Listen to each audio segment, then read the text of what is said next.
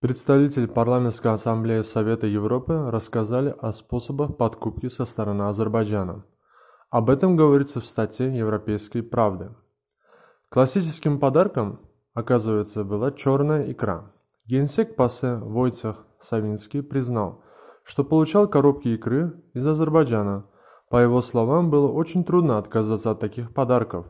Поэтому после сессии ассамблеи его сотрудники вместе с коллегами устраивали икорные завтраки, говорится в статье. Были и другие подарки – билеты бизнес-класса, неделя в пятизвездочном отеле, билеты на концерты или конное шоу.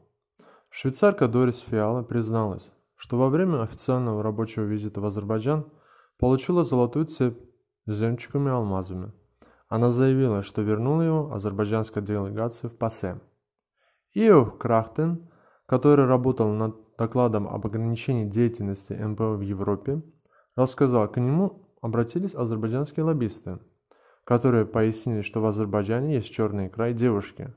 До конкретики дело не дошло, потому что он отказался.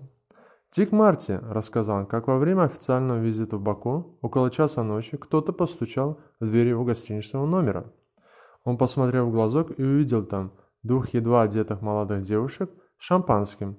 Он не открыл дверь, цитируется в статье «Отчет комиссии ПАСЕ».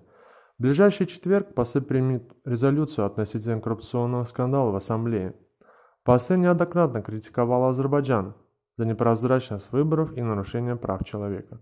В ответ официальный Баку даже пригрозил выходом из Совета Европы.